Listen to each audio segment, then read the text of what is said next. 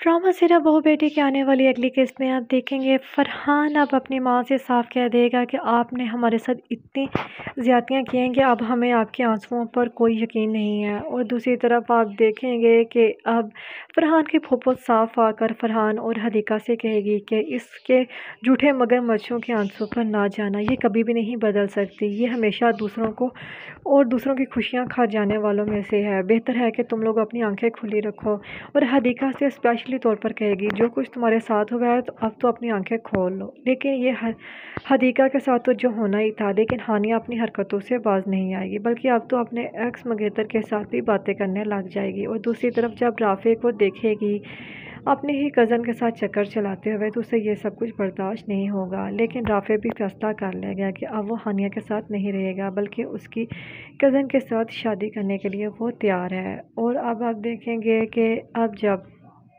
ये बात सुल्ताना बेगम को पता चलेगी तो उससे यह सब कुछ बर्दाश्त नहीं